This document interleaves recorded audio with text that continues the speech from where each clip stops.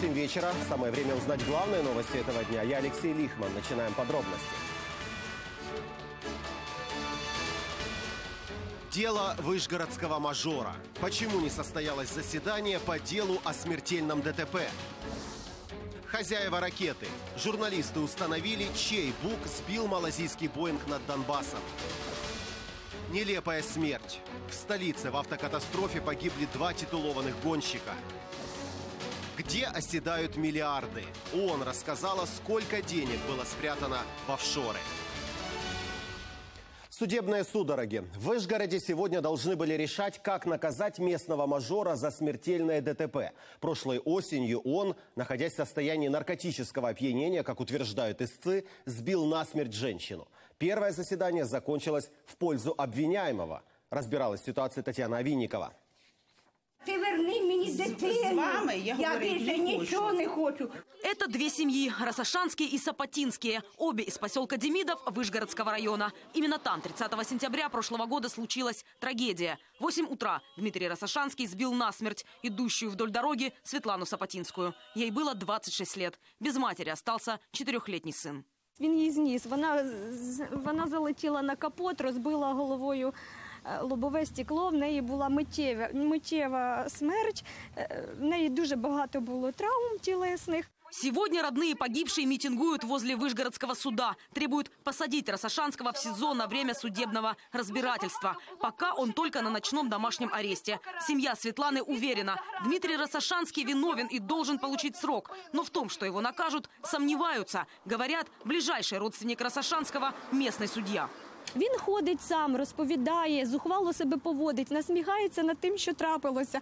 Він розповідає, що мені нічого не буде, тому що в мене дядько суддя. Купрієнко Сергій Ісакович це суддя Вишгородського райсуду, який працює 1992 року, який дуже довгий час перебував головою Вишгородського райсуду. Він являється дядьком водія Росішанського е, Дмитра Юровича. Родственники погибшей заявляют, за Дмитрием Росошанским тянется вереница преступлений. Угон автомобиля, групповое нападение и грабеж, изнасилование. Но каждый раз его отпускают безо всяких наказаний. А еще рассказывают, в 2010-м за вождение автомобиля в состоянии наркотического опьянения у него могли, но не отобрали права. Они с первого дня начали э, клевету на мою семью, говорить, что папа прокурор, что я э, за насильство сидел, и пошло-поехало. То есть это я не судим, я нормальный образ жизни веду. Да, у мене тут працює родич. Він суддєю працює все життя. Якого я не бачила 50 років. От мені 58, я його бачила отакою ще дитиною. Это первое после трагической аварии заседание суда. Длилось оно считанные минуты. Підготовче судове засідання скоро закінчено. Оказалось, не пришел главный в деле потерпевший, муж Светланы. Но родные погибшей уверены, судебное рассмотрение затягивают. Кодекс прямо каже, що якщо є можливість розглянути і вирішити питання за відсутності потерпілого, то суд це робить. Тобто ми вважаємо, що сьогодні відкладення було чисто формальне. Сам подозреваемый говорит вот что. Это несчастный случай, я считаю. Я этого не хотел, еще раз повторяю. Я очень сожалею, что так произошло, но я этого не хотел. После сегодняшнего заседания с Росошанского сняли ночной домашний арест. Теперь он совершенно свободен. Чем закончится следующее заседание суда, узнаем уже 30 мая. Татьяна Авинникова и Владлен Ноль. Подробности телеканал Интер. Стрельбу по одесским журналистам квалифицируют как покушение на убийство. Нападавших до сих пор разыскивают. За информацию о том, где они скрываются, в полиции обещают вознаграждение 50 тысяч гривен. Личность водителя иномарки, на которой передвигаются злоумышленники, уже установили. На него же зарегистрировано ружье, из которого стреляли по сотрудникам седьмого канала, сообщили в полиции. Версии отрабатывают несколько. Все не называют, но среди них журналистская деятельность и бытовой конфликт. Напомню, на журналиста и двоих операторов Одесского седьмого канала трое неизвестных напали прямо возле офиса. Сначала медийщиков избивали, затем один из нападавших достал из машины ружье и открыл огонь. 19 миллиардов гривен выделит правительство на ремонт украинских дорог. Работы начнутся уже в мае-июне. Об этом заявил премьер Владимир Гройсман, инспектируя Новообуховскую трассу. Здесь проводят капитальный ремонт участка Киев-Знаменка. 29 километров вместе с переходами, развязками и новым освещением обойдутся в 57 миллионов евро. Деньги взяли в кредит у европейских банков. Ремонт планируют закончить в следующем году. Дороги України знаходяться в критичному стані. Я би дуже хотів, щоб ми будували от такі дороги, як тут. Але це є сьогодні неможливим, оскільки потребує надзвичайно великих е, коштів, надзвичайно великих. Тільки об'їзна Києва е, буде коштувати порядка 200 мільярдів гривень. Тому ми будемо робити і в тому числі і е, середній і поточний ремонт для того, щоб вивести стану коми українських українські дороги. Буду жорстко реагувати на тих, хто вважає, що дороги можна робити тяп-ляп. Так не буде. Как и Новообуховскую трассу, капитально ремонтируют отрезки дорог еще в двух направлениях от столицы – Одесском и Харьковском. И тоже за кредитные средства. Останні кредит, які взяли у Світового банку, останні, скажімо, 560 мільйонів дол- доларів. Ці гроші підуть на Харківський напрямок зараз. Маємо дойти до межі аж е, Хмель... е, Харківської області. Наказанный за вырубку начальник экоинспекции Ивано-Франковской области будет уволен. А начальнику Госэкоинспекции Украины Андрею Заике объявят выговор за то, что не контролировал, как подчиненные на местах выполняют должностные обязанности. Такой итог поездки министра экологии и природных ресурсов Остапа Семирака на Прикарпатье. Там он осмотрел места массовой вырубки леса в национальном природном парке Гуцульщина. По дороге туда авто министра остановили и заблокировали местные жители. Требовали прекратить уничтожение леса, провести расследование и наказать тех, кто допустил и крушует вырубку. На трассу люди вышли, когда им не удалось пообщаться с главой Минэкологии в райадминистрации. Министр пообещал людям встретиться и поговорить, когда сам увидит масштабы незаконной вырубки. Таке вийшло, що ви від нас просто втекли, розумієте? Ні, я від вас не Купа втік. народу чекає, ви зібралися, пішли, а там взагалі коло Почекайте. національного парку ви Почекайте. приїхали, там охорона стоїть. Що тут таке? Почекайте, я працюю по своїй програмі. Після програми ми з людьми зустрінемося. Ми подивилися одну рубку. Зараз ми подивимося другу рубку. Після цього ми з вами зустрічаємося і говоримо. Двое инспекторов Харьковской таможни погорели на горячем. В СБУ раскрыли схему получения взятки на 15 тысяч гривен. Во время одной из спецопераций задержали инспектора при получении части суммы. Как утверждают в СБУ, сотрудники таможни систематически вымогали деньги у нарушителей, обещая не привлекать их за это к административной ответственности. Российские тюремщики подготовили документы для экстрадиции Надежды Савченко. Однако и это не является гарантией скорого возвращения нашей соотечественницы домой. Кто будет принимать окончательное решение? Все подробности у Данила Русакова. Надежду Савченко ждет очередной суд. Уже точно известно, слушания пройдут в Ростовской области. Федеральная служба исполнения наказания подготовила все необходимые документы для экстрадиции. Соответствующий запрос в пенитенциарный орган направил российский Минюст. Накануне адвокаты летчицы в спешном порядке прибыли в Новочеркасское СИЗО. По словам юристов, тюремщики просили как можно быстрее помочь Надежде оформить все необходимые бумаги. Обычно выдача длится от полугода до года, но в данном случае есть вероятность ускоренной процедуры, говорят защитники. Впрочем, окончательное решение примет суд по месту отбывания наказания. Соответствующее ходатайство туда должны подать российские власти. Что касается суда, на этот счет в России есть некие двусмысленные места. Пока что вот все, с кем мы это обсуждали, больше склоняются к тому, что это будет Ростовский областной суд, что э, это возможно уже в э, ближайшие 2-3 недели. Э, каким-то таким подстегнутым темпом. Потому что все понимают, что это необычная процедура, что это просто оформление того, о чем договорились политики. Украине Надежду Савченко планируют передать по конвенции о выдаче заключенных для отбывания наказания на родине. Теоретически принимающая сторона должна дать гарантии исполнения приговора. Однако в случае с украинской летчицей это скорее бюрократическая формальность. Приговор Александрову и Ерофееву, которых обвинили в терроризме, Москва тоже должна признать. Ведь их планируют направить домой по той же самой международной конвенции. Состояние Надежды Савченко сейчас удовлетворительное. Свой 35-й день рождения 11 мая она встретит в тюрьме. Однако, рассчитывая долгожданное освобождение, уже не за горами. Данил Урсаков, Олег Неведомский, Московское бюро, телеканала «Интер». Тишина на Мариупольском направлении продолжается уже почти вторые сутки. Лишь несколько раз боевики открывали огонь из стрелкового оружия и гранатометов. Используя этот момент затишья, наша съемочная группа побывала на освобожденной от боевиков части Широкина. Подробнее об этом в материале нашего военкора Александра Пантелеймонова. Это на вид абсолютно обычное здание сельской школы играло огромную роль в битве за Широкино. Именно здесь располагался командно-наблюдательный пункт боевиков. Вот еще осталось даже немало предметов их обихода с характерными лозунгами. Можно зайти, в принципе, наши инженера постарались, разминировали. Любопытно то, что здесь, в покинутом логове боевиков, на стене сохранился плакат с портретом Тараса Шевченко и текстом национального гимна Украины. Очевидно, что их больше интересовало не то, что расклеено на стенах, а вид, открывающийся из этих окон. Отсюда хорошо видно наши тогдашние позиции. Отсюда вони теж добре вогонь вели, коли ще були в селі. Форми були російські, и патроны были там российские. Теперь боевики остаются за пределами поселка, хотя вернуться время от времени пытаются. Иногда Широкино обстреливают, окраины часто прочесывают диверсанты. На празднике, правда, их активность снизилась. На Пасху они приутихли. Вот, крайний обстрел был в субботу по нашему опорному пункту. Поработал минометик 120 Вот, ну на этом, в принципе, все утихло. Была только пьяная беспорядочная стрельба с их стороны. Широкино под надежным контролем наших морпехов. На гражданские свои дома смогут вернуться только когда противника отбросят и еще дальше, говорят военные. Ведь очередной обстрел тут может начаться в любой момент. Александр Пантелеймонов, Максим Чеблин и Антон Чиженко. Подробности. Телеканал Интер. Кому принадлежит БУК, сбивший малазийский Боинг летом 2014 года на Донбассе, установили журналисты международной группы расследований Бейлинкет. В опубликованном отчете указано, стреляли из самоходной огневой установки под номером 332. Средняя цифра номера была повреждена и идентифицировать установку оказалось сложно. Журналисты сопоставили десятки фото армейской техники, опубликованных за последние годы.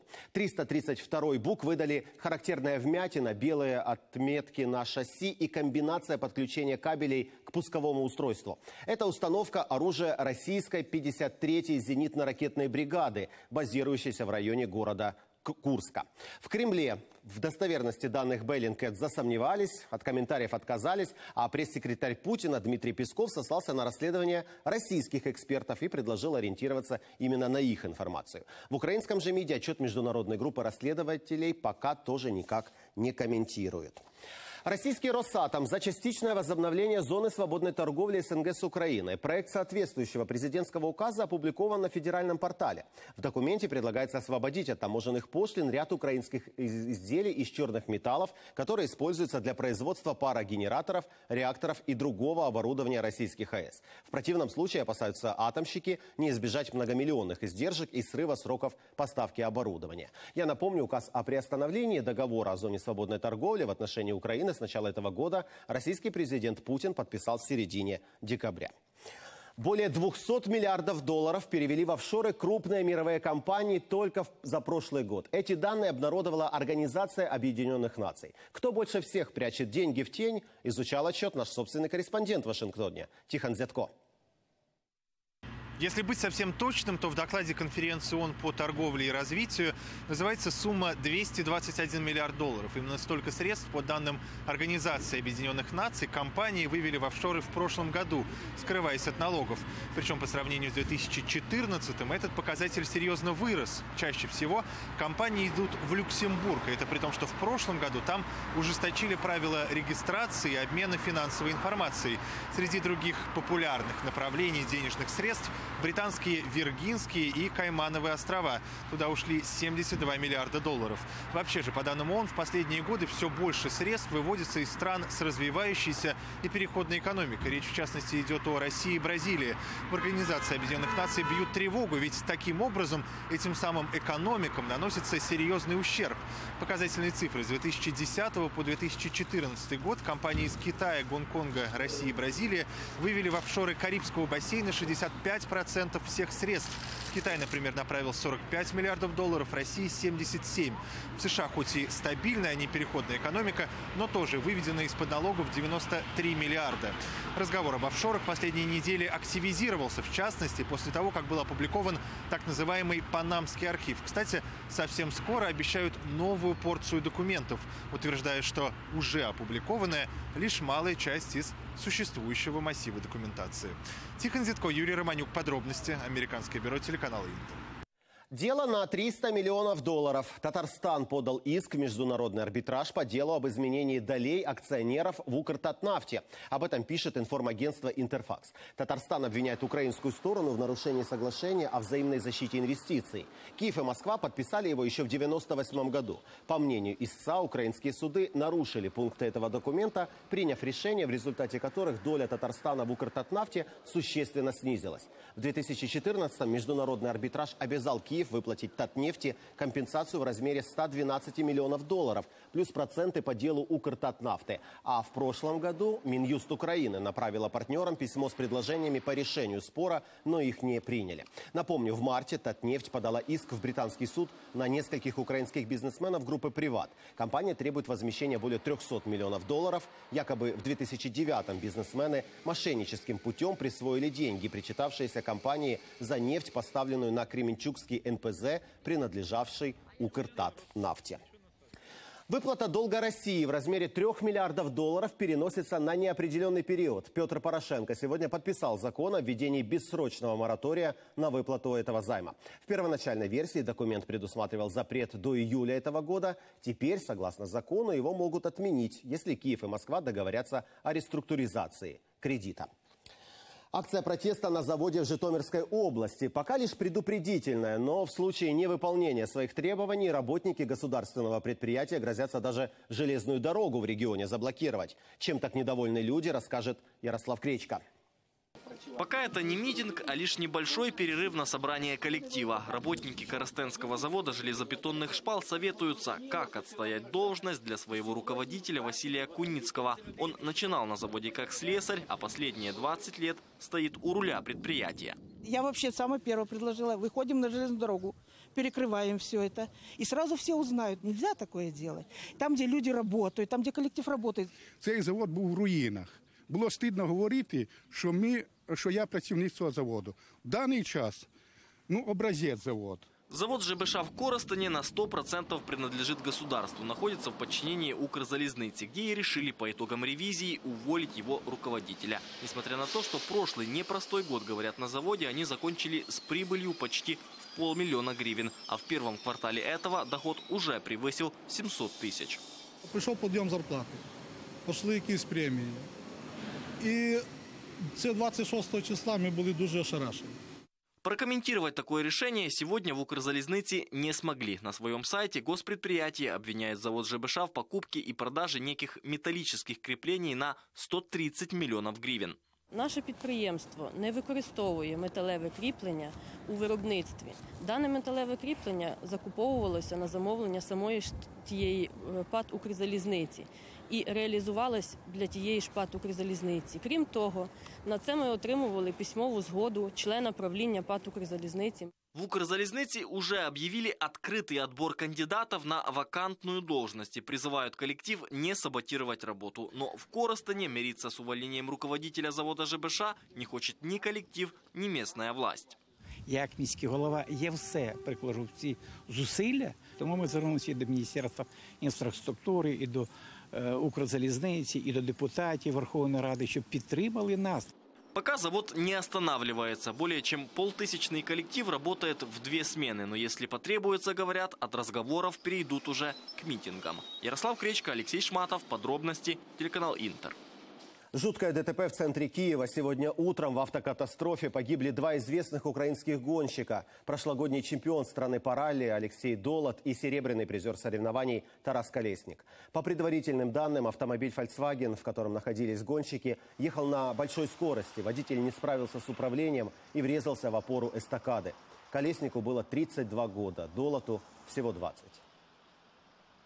Його занесло в праву сторону. Так він проїхав 100 метрів, а потім зіткнувся спочатку із бордюрним каменем, а потім із двома опорами шляхопроводу.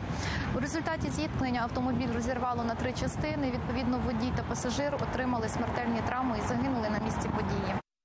В Харькове похитили герб Украины. Государственный символ исчез ночью с обелиска братской могилы жертв нацизма в центре города. Уже открыто уголовное производство за надругательство над госсимволами. В мэрии пообещали, герб восстановят до 9 мая. Стелла на проспекте Правды уже не первый раз страдает от вандалов. Прошлой весной ее пытались взорвать диверсанты. Тогда разворотило основание флагштока, его пришлось заменить. После этого в мэрии, кстати, обещали поставить вокруг камеры наблюдения, но так этого и не сделали. Но сейчас, впрочем, снова обещают. Сейчас по этой теме работаю. Я тоже думаю, есть поручение городского головы, чтобы там стояла видеокамера. Я думаю, что в течение, ну, самое больше двух недель мы постараемся, чтобы там появилось. Заложники подземелья. Уже второй год жители Опытного, что вблизи Донецкого аэропорта, ночуют в подвалах, но при этом не теряют надежды на мирную жизнь. Общалась с людьми наш военкор Ирина Баглай. Под надзором квартиры. Вот как раз прямое попадание было. Их в селе Опытным, кто не выезжал за два года войны, 10 человек. Виталий Евдокимович вспоминает первый обстрел, после которого квартиру сменил на подвал. А взрыв первый был вот возле лавочки. Снаряды давно уже не рвутся, но они по-прежнему живут в подземелье. В Опытном уцелевшего дома не найти. В квартирах гуляет ветер, холодно. Вот она, буржуечка. Вот на этом. Кастрюльку или он сковородку и одним боком то крутишь, варишь. Долго приходится? Конечно, долго. Сейчас от два, а то и больше. Вот малину обрезала, там посела морковочку, лучок, помидорчики посажу, огурчики.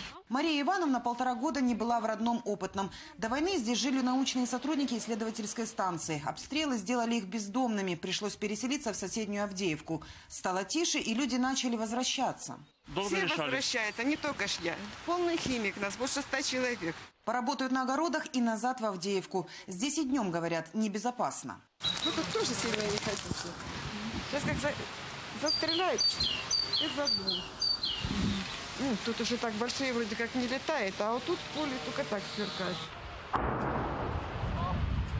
Военные успокаивают. Взрыв – это боевики проводят разминирование в Донецком аэропорту. Видимо, к чему-то готовятся. Ми там майже мало що бачимо, в принципі. Але чуємо там техніку. Яку? Ну, є і бехи, бачу, і чуємо є по цьому. Тяжела техніка. Пока орудия молчат, военные фиксируют очередную попытку диверсантов проникнуть на их позиции. В этот раз армейцам стрелять не пришлось. Хотели подойти, не получилось. Один ушел, другого несли. Получается, ушел в сторону и сам себя поймал. То есть. Вот и все. На растяжке. Во время режима тишины боевики традиционно укрепляются, строят блиндажи, знают, что военный приказ не стрелять не нарушат. Пускай лучше белый флаг поднимают, подходят так. Стрелять не будете? Не, не будем. Ирина Баглай, Андрей Костюк, Руслан Терентьев из Донецкой области. Подробности телеканал Интер. Жилье для переселенцев. В Кострижевке Черновицкой области вручили ключи от новых квартир семьям беженцев из Донбасса. Где теперь они будут жить и в каких условиях, проверяла Ольга Паламарюк. Дощ протопив всі ці стіни, вони практично були в плісняві і чорні, немиті, і страшні, обвалені. Оце все те, що ми застали, коли сюди прийшли. Металлопластиковые окна, евроремонт в этих красивых комнатах. Не узнать некогда заброшенный этаж общежития сахарного завода. Почти год его ремонтировали за деньги Евросоюза. Местные волонтеры выиграли грант. Це більше 200 тисяч євро. Шукали пристойні умови з можливістю працевлаштування і можливістю швидкого ремонту. Здесь поменяли все от крыши до лампочек. Отремонтировали 13 квартир, 10 однокомнатных и 3 двухкомнатные.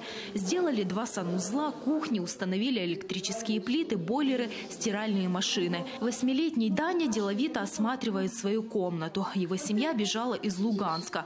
Волонтеры помогли снять квартиру в Черновцах. Теперь у семьи новое жилье. Какой шкаф. Доброго дня. Заходите, будь ласка. В соседней квартире обустраивается Александр, тоже из Луганска. Его летом 2014-го террористы захватили в плен за проукраинскую оппозицию.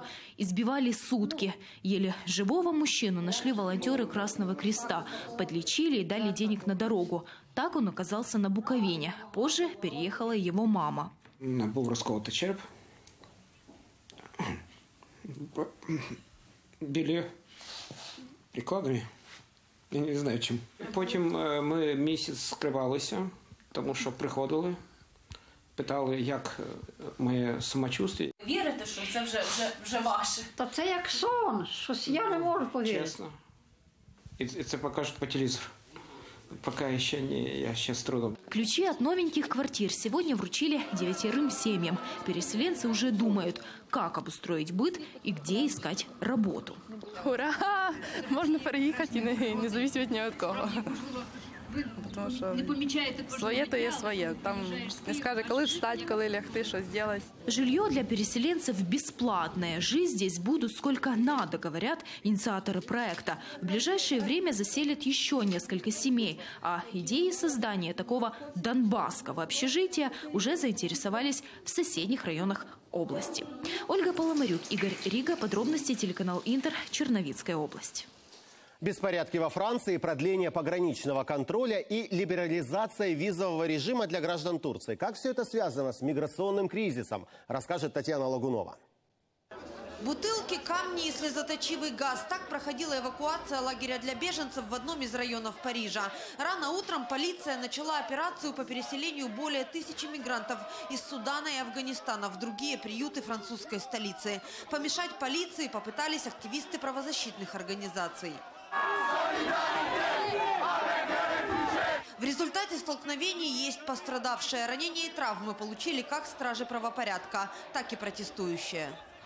Тем временем европейские государства не спешат отменять пограничный контроль на своих границах. Многие страны шенгенской зоны ввели его из-за наплыва беженцев еще в прошлом году. Сегодня же Еврокомиссия предложила продлить проверки еще на полгода.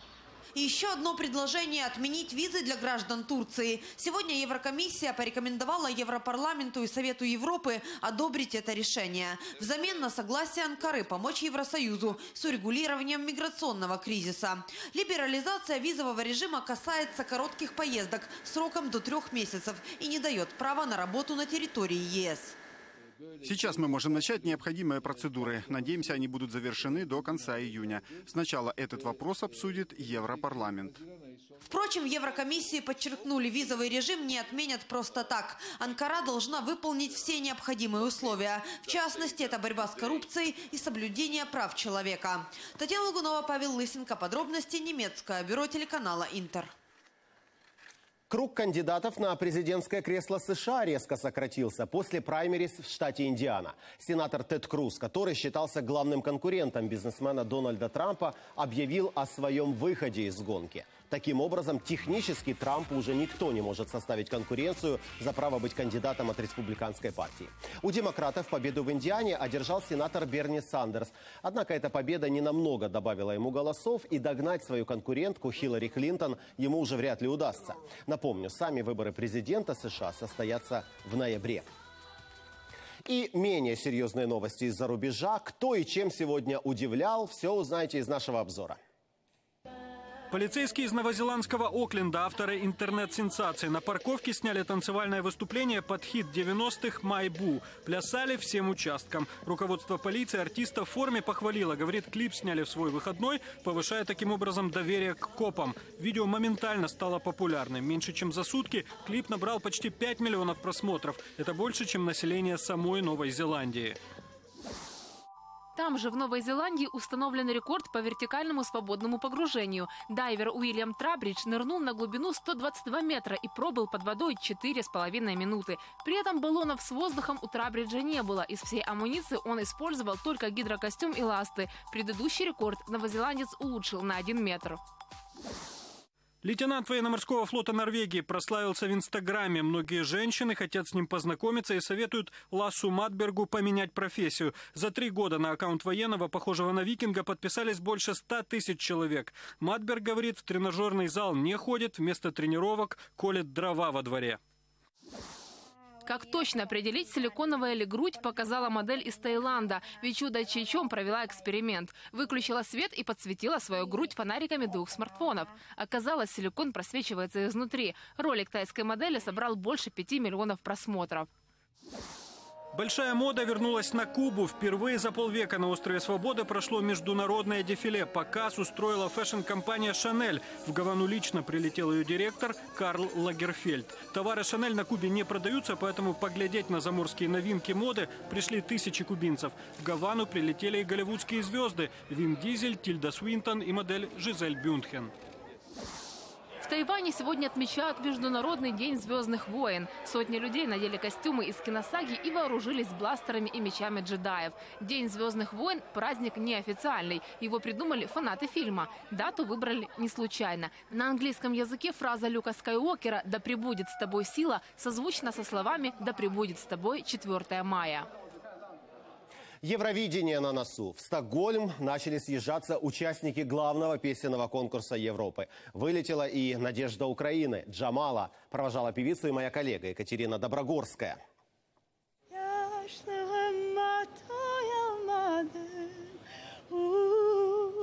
Именно эту песню Джамала, представляя нашу страну, будет исполнять на Евровидении. 1944 так называется композиция. Она о депортации крымско-татарского народа.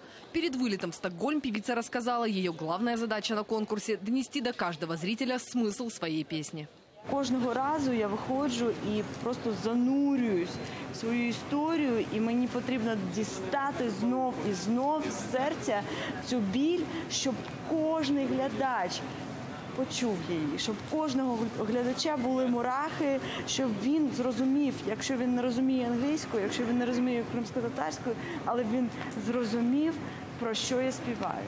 В аэропорту Джамалу заметили и поклонники. Сделали фото на память, пожелали победы. Мы верим в то, что она победит. Только удачи. Я очень люблю ее творчество. Мы будем очень болеть, переживать и желаем, чтобы она победила. Напомню, на отборочном туре за Джамалу проголосовали 142 тысячи украинцев. Первое место отдали певице и на фестивале European Song Opening 2016. Именно он считается своеобразным экзит-полом перед самим Евровидением.